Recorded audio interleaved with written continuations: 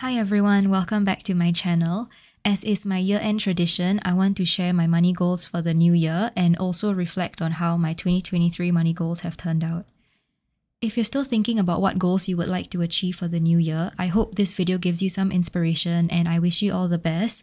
If you would like to, please share your goals in the comments below because I would love to read them. I am making a companion video to this where I share my budget for 2024 and show how I'm integrating my goals into my monthly budget. That's going to be very useful as well, so please stay tuned and subscribe to my channel so you can watch the video when it's published. I will start by looking back on what goals I had set for 2023, and from there I'll see if there are any changes or adjustments that I'd like to make for my goals for 2024. Let's start with the first one, which is my emergency fund goal of $30,000. I talked about this in my net worth video this year. My family finally received the last of my late father's CPF money that was locked in with Public Trustee's office after his passing. So, with the money that we received, I topped up about 9k to reach my emergency fund goal. So I did achieve this goal, but without as much effort as the other goals because I knew the money was going to come in this year. It was just a matter of when. Some people might think that $30,000 in emergency funds is a bit overkill, and perhaps it is, but it's a number that I feel the most secure with because I am also saving for my mother and brother in case something were to happen to them. Among the three of us, I am the only one with a full time job that can support the family, and 30k is roughly 12 months of my monthly expenses. That's how I came to this 30k number that makes me feel the most stable in terms of my safety net of funds. With that, I'm quite settled with this goal. I might continue to make ad hoc top ups to my emergency fund throughout the year, but I won't be focusing on building it to be more than 30k for now. My next three goals are pretty straightforward because the goals were to make monthly top ups to these accounts. I've budgeted these contributions into my monthly budget throughout the year, and thankfully, there was never a month where I had to miss a contribution since my income was stable the entire year. If you're interested in my monthly budget, I post them every month on my Substack, which I'll link below. I also have a Telegram channel where I share the link to my Substack post every month when I publish it. If you find it helpful to get a nudge every month to remind you to think about your budget, I highly recommend following my Telegram channel or subscribing to my Substack. Anyway, for my retirement investments, the various funds and portfolios that I invested in varied throughout the year as I was experimenting with different things. So I don't really have a set strategy for my retirement investments that I feel confident sharing yet. This is actually related to one of my goals for the new year that I'll talk about later, so keep watching to hear about that. But in terms of amount invested, I successfully contributed $1,000 every month. For my medium term investments, my goal was to invest $420 every month, which I put into Stashaway's general investing portfolio. I've had this portfolio since January 2021, where I've been slowly contributing $100 to $200, whatever was doable for me back then, because I knew there was something in the near future that I was saving up for, although I didn't have a clear picture of what it would be. But I knew it was important for me to put aside money for it, so I've just continued since then. I chose Stashaway for this portfolio because back then it was the most accessible and approachable way for me to begin my investing journey. I really appreciated the app's user interface. I could create a portfolio and it would recommend a risk index for me based on my time horizon and risk appetite. So it made my first foray into investing far less intimidating, and from there, I slowly expanded my knowledge about investing. If you're looking to start your journey with investing, I would really recommend exploring the options on Stashaway. I think it's a great starting point if you're looking to dip your toes into investing. They also do a lot of work in financial education, and they have a bunch of videos under Stashaway Academy explaining the basics of personal finance on their app. I think that's so amazing, and it's such a great resource for people who are starting out. I have an affiliate link with Stashaway, which you can use to sign up for an account, and I'll link it in the description below. Stashaway also has a cash management portfolio called Simple Plus, which I used to keep my money that I was putting aside for my holiday fund. My goal was to save $400 a month for a holiday, which totals up to 4.8k by the end of the year. And that's exactly what I did. I went to Korea back in October for two weeks and I spent a total of 3k on the whole trip, including flights, accommodation, and food. If I include my personal shopping expenses, then it's about 3.5k, but I think that's still pretty reasonable for a two week trip. Honestly, I think I could have done with a bit less shopping because it wasn't the most meaningful part of my trip, but overall, I had a really great time and I thought it was great value for money for how much I ended up spending. This year was really my first time traveling as a working adult, and that is a very different experience than traveling as a student when you don't have much disposable income and a much tighter budget. So I'm 100% motivated to continue to make saving up for holidays a consistent part of my budget for as long as I'm able to make room for it with my income. It's something I value, and so it makes sense to me that I prioritize it as one of my goals as well. Alright, my last two goals are less landslide victories and more like technical wins, but not emotional wins. The goal was to earn $500 a month from side hustles. Like, I technically achieved it, but I don't think I got at the spirit of the goal, which was to consistently be earning every month through consistent effort on my part. And I was earning every month, whether from YouTube AdSense or freelance work, and some months are better than others, of course, but I don't know, I just feel like I didn't focus on the right thing this year, and so the spirit of consistency was not there. I think I'll feel it more next year because a lot of my side income this year was riding on the wave of last year's efforts back in 2022.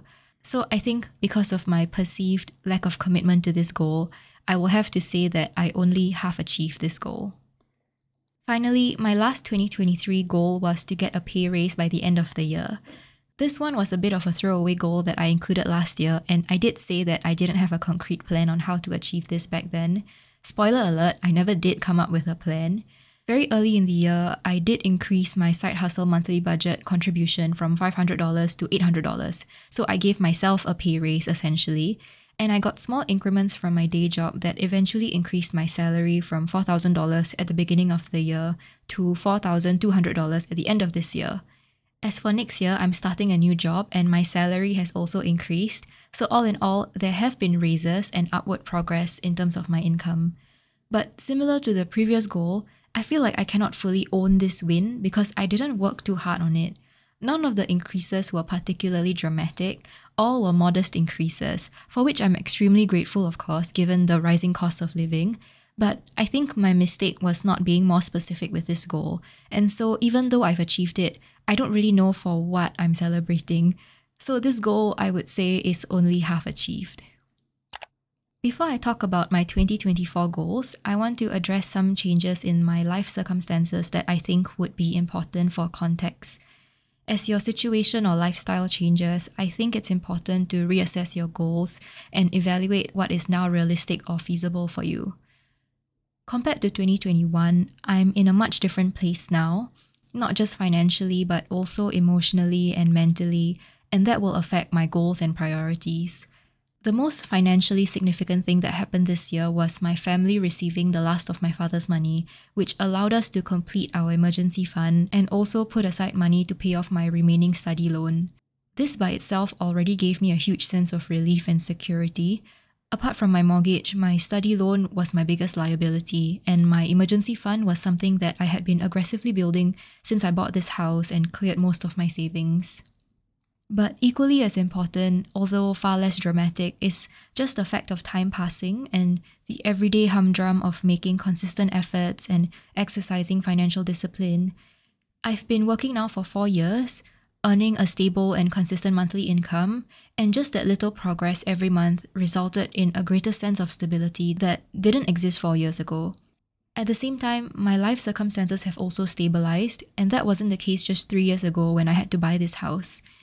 So, with that sense of stability and security in most areas of my life, I've been able to gain confidence in my own ability to achieve my financial goals.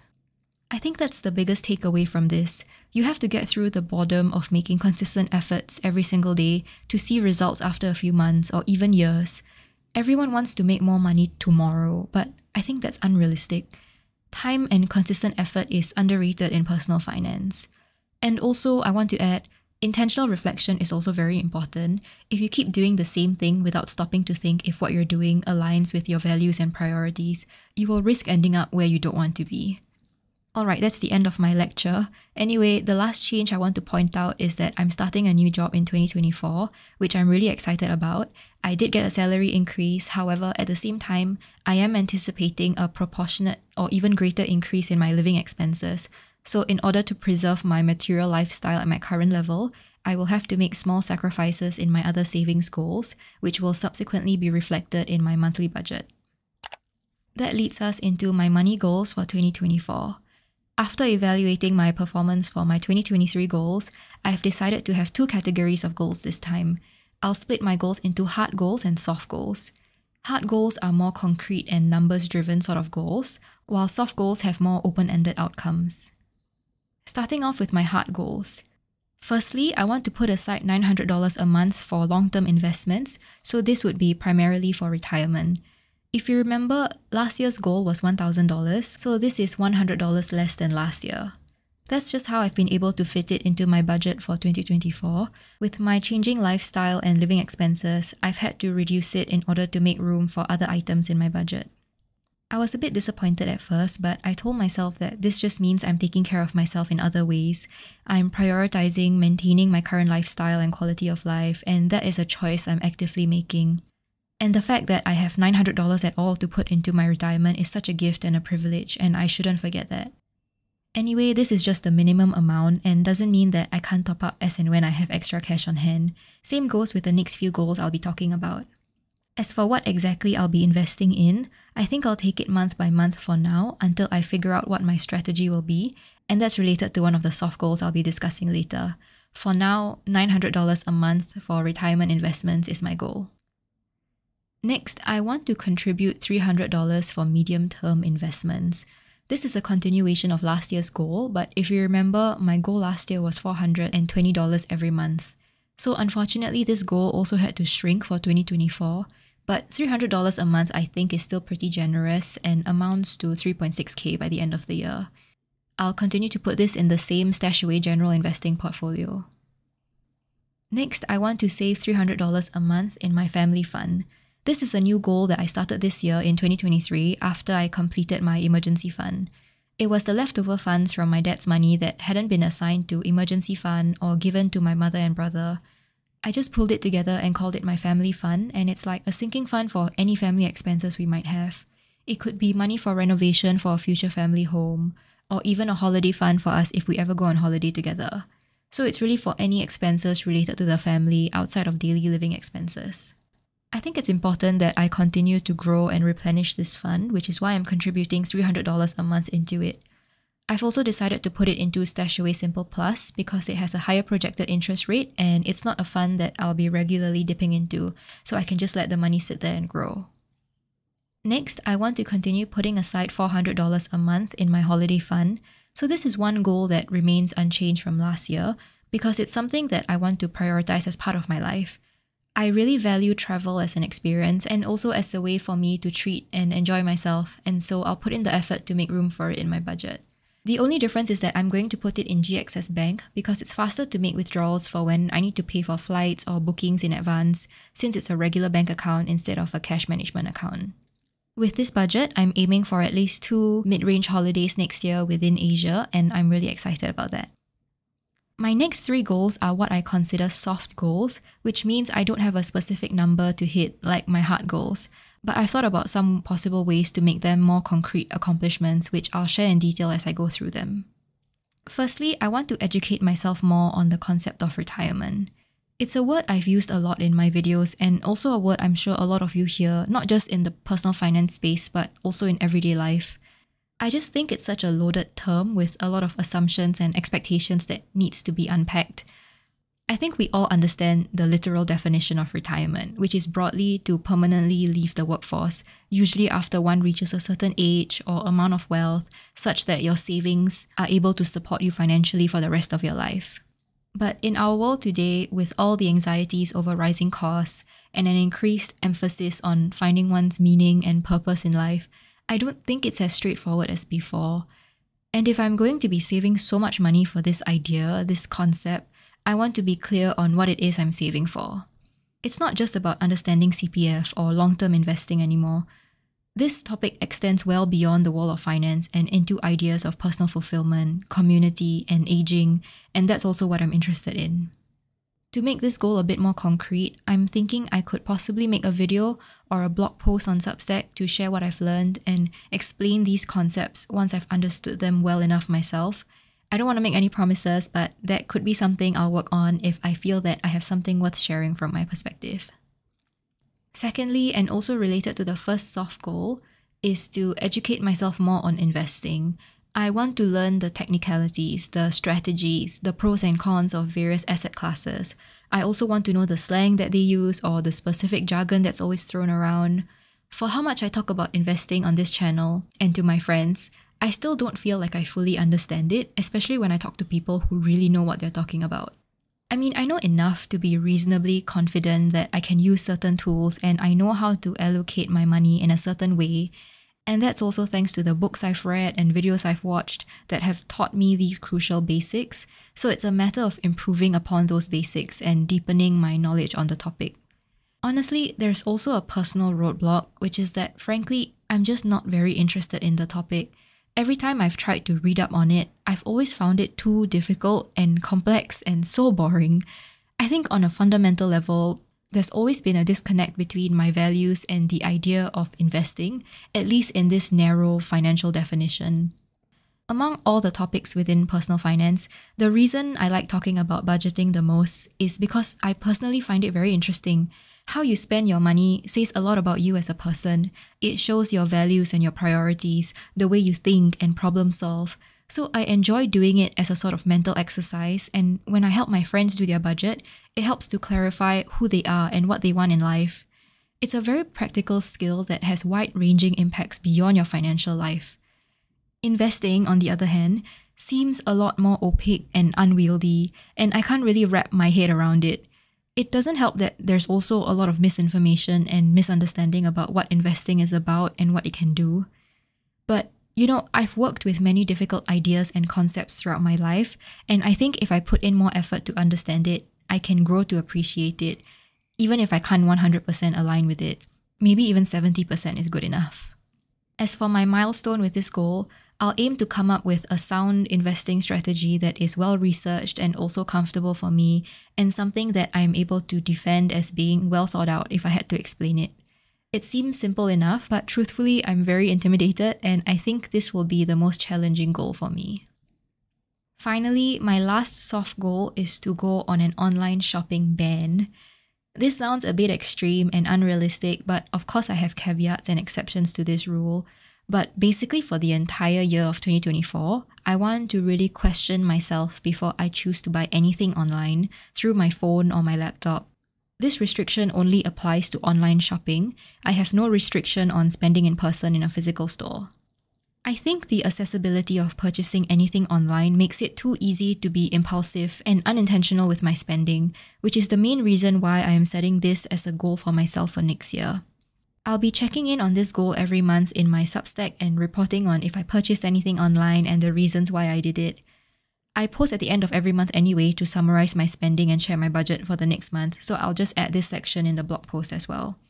If you're interested in following my journey on this, you can subscribe to my Substack or follow my Telegram channel.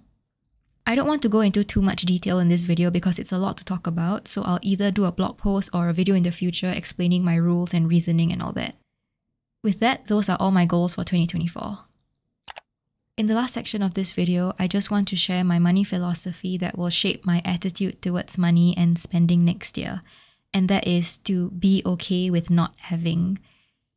Last year, the second money philosophy that I shared was to leave room to enjoy and spend, and this was coming from a time of great restriction and limited resources. I had been aggressively saving for a lot of fundamental financial goals, and I was also finishing up my low buy year in 2022. So I had written this with the intention of giving myself more grace to treat myself more in the new year and to see how I can spend money in a way that would increase my quality of life and happiness. And I really appreciated that I allowed myself to do that, and that's how I'm able to come to this conclusion today. I may have took the latter part of that statement too literally, such that my interpretation of it was to leave room to enjoy life by spending. And after a year of living in this way, I've come to the realization that I've been mindlessly buying things just because I had the resources to do it. I also believe that the technology around us encourages this behavior. It's so easy to be advertised to, to be influenced to buy this or that thing, to always have something newer and shinier and better. In 2024, I want to disconnect myself from that constant accessibility to consumption. And not just be okay with not having, but not knowing as well. I don't need to know what is trending or new or hot right this moment. I'll just go to the mall and see.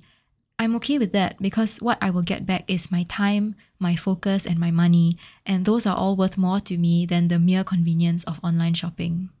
Activities like mindlessly window shopping or passively consuming entertainment did not add to my life at all, but only made me feel constantly inadequate, like I had to keep searching for something newer and better that's out there, as though the acquisition of that thing would finally make my life feel complete. And it's not like I'm still broke and I'm not financially struggling. My shopping has never entered the territory of dangerous overspending at all. But it's a mental thing for me. There's something inside my head that I want to protect from this constant assault of consumerism. The fact is, I live in a beautiful home that I can comfortably afford. I am able to support my family. I'm able to live a good life. I should be wanting for nothing. This feeling of inadequacy for material items is manufactured by advertising, and I don't want to participate anymore. So I'm choosing to opt out where I can, to limit where I can, so that I can live my life closer to my values and intentions. And that will be my North Star, my guiding principle for how I'm approaching my money related decisions going forward. Thank you so much for watching this video. I'm grateful that you've watched this all the way to the end. I know I ramble a lot and this might not be the type of personal finance video you're looking for, but I hope the goals I've shared will be of some inspiration to you on your own financial journey. Please share this video with a friend if you think it would help them, and in turn, that helps me so much as well. The links to my Substack, my Telegram channel, my Patreon, and other videos are all linked in the description box below if you're interested. My next video will be a breakdown of my planned monthly budget for 2024 and I'll show how I've incorporated some of my goals into the budget. That's always a very popular video with people and a video I love to make. So stay tuned, subscribe, and I'll see you in my next one.